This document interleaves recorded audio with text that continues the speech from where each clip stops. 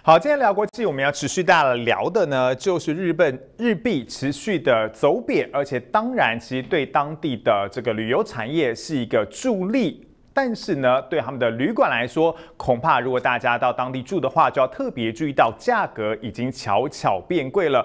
这是日本经济新闻哦，他们说，其实现在日本持续出现了饭店的建设热潮，因为很多的外资也纷纷进驻到了住宿市场，展开了人才争夺战。就是因为呢，其实现在到日本住饭店，第一个价格稍微变贵了，而且他们也面临到了缺工的情况。现在日本的住宿费真的可以用回不去。去了才形容，甚至这个住宿的费用呢，比疫情之前还要再更贵。当然，最重要的还是在疫后呢，外国的旅客慢慢回流，而且呢，也导致这个住宿的价格飙涨。很多地方大家很习惯去的，像京都、还有东京啦、青井泽、大阪、福冈这些地方来说，都是明显涨幅明显偏多。尤其呢，像京都市涨幅来到了百分之八十八，是涨最多的地方。而如果你想要去青井泽的话，荷包应该真的会。痛，因为它是变得最贵的一个区块，所以大家可以想象到，说到日本，如果你想要找个地方住的话，或许日币走贬，大家花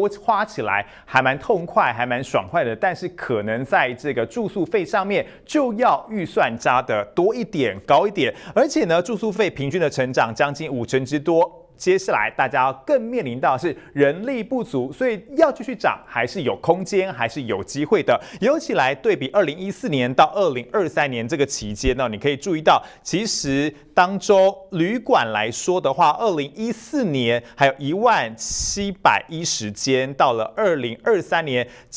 明显偏多，来到了一万四千两百六十间哦。当然，在冲绳，它的成长率是最高的。不过，或许大家住这个旅馆当然非重要，非常重要，会关心的，除了这个价钱的问题之外，当然卫生的情况也是非常重要。如果你现在到日呃韩国，特别是首尔的话，就要特别注意到是虫虫危机了，因为现在当地床虱肆虐哦。但是专家也告诉大家，你会不会也担心把这个床虱带回你家呢？从南韩带到家里？第一个你要特别注意到是行李箱，你不要直接带回家，在进门之前先喷洒一些杀虫剂，都有办法来防堵。还有你的裤袜啊，还有这个鞋袜，还有衣裤都要特别注意到，因为湿虫是很容易粘附在上面。所以该怎么做？你要特别的检查行李箱的物品，而且呢，所有的东西最好用高温蒸汽还有热水来清洗，就可以避免虫虫危机进到你的家里头。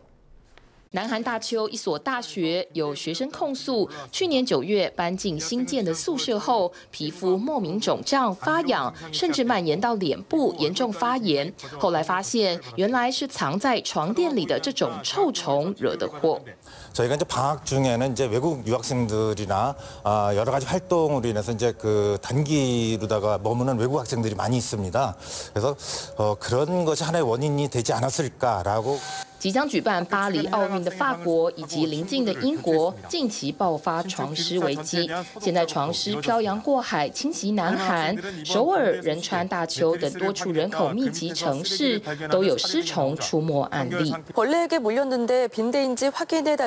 거나예방방역을할수있느냐는문의전화도보건소에이어지고있습니다南韩 YouTuber 在一家汗蒸木发现大约八只床虱，当地卫生局前往稽查，当场。发现一只成虫和幼虫，因此勒令商家暂停营业，加强消毒。由于南韩民众热爱到香港旅游，因此香港人担心飞机行李箱也会夹带床虱入侵香港。另外一个动物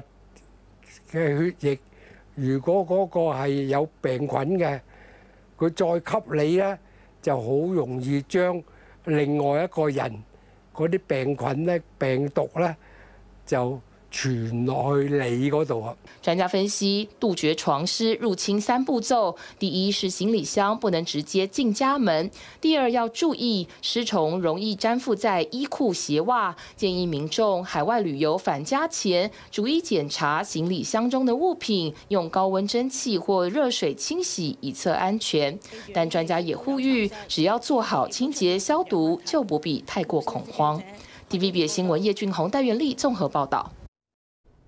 好，刚刚看了住宿的价钱，还有这个住宿的卫生，我们再来关心到机票，其实也都是贵桑桑的。尤其在疫情之后，需求爆发，很多机位的供应是不足的。当然，其实这个量少，价钱就会跟着往上飙涨。而且呢，光是这个统计哦，航空公司在今年夏天调涨机票价格，比二零一九年夏季疫情之前呢，平均还贵到两到三成之多。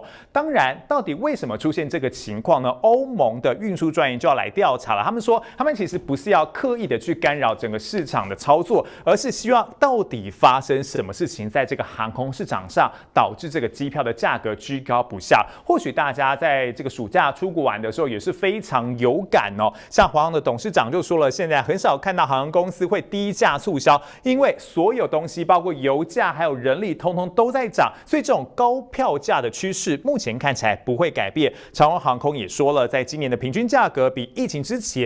多了五成，而且也认同说，接下来高票价的趋势将会成为常态。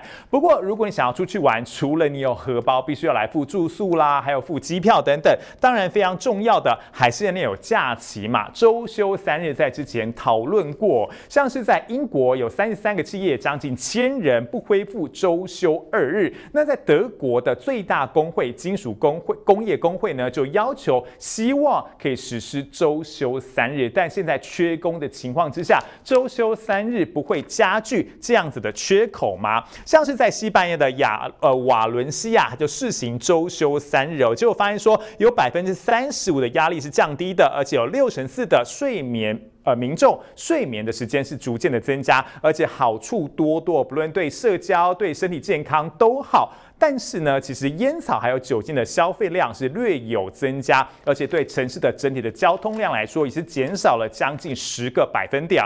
而前瓦伦西亚的市长就说了，这个缩短工时有可能对城市环境带来潜在好处，而且对大家的身体健康或许也是有注意的。不过说到缺工危机哦，到底怎么样改善青年就业的情况？劳动部有最新的做法。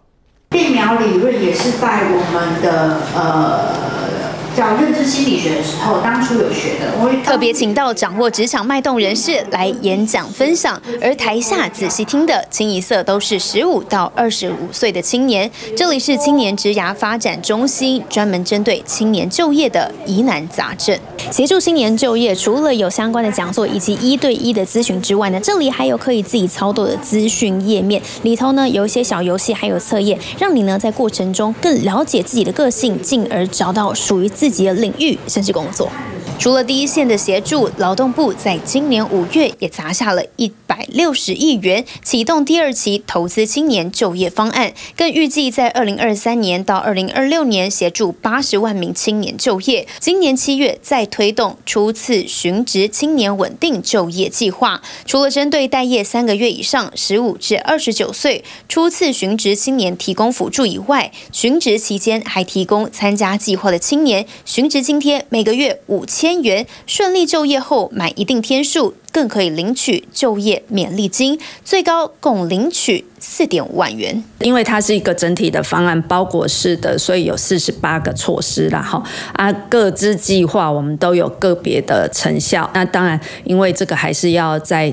比较中长期的一个方案，再去做观察。一转眼，距离大学毕业季也已经快要半年时间。摊开十五到二十九岁青年，于今年一到九月失业率为百分之八点零九，相较于去年同期百分之八点四四，略有降低。今年一到九月的劳参率百分之五十八点二八，也比去年同期稍微提高。不过，青年就业实务上的状况数字看不到。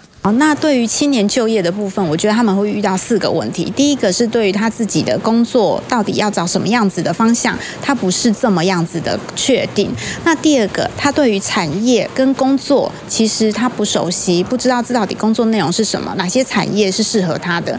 那第三个，薪资的部分、福利的部分，可能会有眼高手低的状况。蛮多年轻人可能现在呃生的少，所以对于这个经济上面没有那么大的压力。那父母也会希希望他不要去做这么吸水低的工作，毕竟都培养到大学了、硕士了。那最后呢？其实现在很多的学生他在学校学的技能跟工作上面需要的技能不是那么匹配的。除了业界很有感，劳工学者也点出导致青年族群长期失业严重化的三大主要原因。除了外在环境使然，因为大部分的公司多要求应征者需要具备一年以上工作经验，让新鲜人处处碰壁。而当待业时间一长，便容易陷入长期工作不稳定的恶性循环。加上年轻人在校学校知识技能不足。毕业后就业能力相对薄弱，以及青年求职态度每况愈下，许多年轻人可能会因为没有经济压力，或是本身价值观影响，找工作态度消极，进而造成长期的失业现象。那我们也发现，大概有很多二十九岁的来来咨询的族群也是偏多的，可能会觉得说，哎，我可能在二三十岁之前，我是可以去找一个方向，找我自己喜欢的。那但是到三十岁的时候，可能就会对于自己在往后的规划。会做第二个比较深入的一个呃考量。百业正在缺工，青年也要找工作，确实掌握职场双边脉动，对劳资都是必要一课。体育新闻郑胜伟、陈文月台北采访报道。TVBS 新闻直播回到 YouTube 频道了，提醒您每周一到周五的晚间七点到九点，由新化主播为各位新闻划重点，记得一定要来参加直播。